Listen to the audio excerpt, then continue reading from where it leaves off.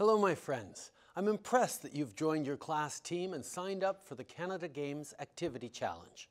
It's so important to be physically active. If you're not getting enough exercise, it's really hard to be your happiest, healthiest self. All my life, I've enjoyed being active. I love to hike and run outside, box in the gym, and play games with my kids. And now that I'm Prime Minister, it's even more important for me to get outside, keep moving, and stay healthy. All it takes is playing a game of tag, kicking a soccer ball around, or dancing to your favorite song. And don't worry about how your friends and classmates do in the program. What matters most is that you set your own goals and work together as a team to succeed.